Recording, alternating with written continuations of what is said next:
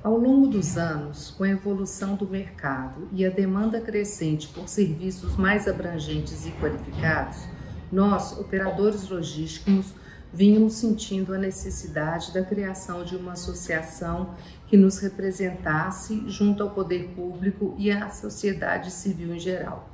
Exercemos uma atividade essencial para a economia e fundamental para o desenvolvimento e aumento da competitividade do país que sempre esbarrou na informalidade e no arcabouço legal, além de estar submetida à regulação de diversos órgãos intervenientes. Diante desse cenário, surgiu a ABOL, com a proposta de fomentar diversos assuntos e buscar a segurança jurídica necessária, apoiando assim as nossas atividades e as boas práticas operacionais. Como participante do Conselho Deliberativo da entidade, vejo que muitas conquistas foram obtidas e muitas ainda estão por vir. Falando sobre conquistas, é notório o quanto de profissionalismo e postura ética obtivemos no setor nos últimos anos, impulsionados pela demanda cada vez mais exigente do mercado.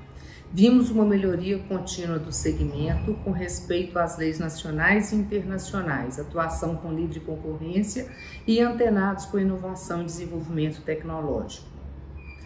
Como presidente da Tora, reforço nossa busca para levar para os nossos clientes uma solução logística integrada que proporcione eficiência, maior produtividade, utilizando sempre o modal mais adequado para cada situação. Parabenizo a BOL pelos oito anos de discussões de temas relevantes para o setor que só nos enriquecem e nos fazem ter uma visão holística do funcionamento da cadeia produtiva.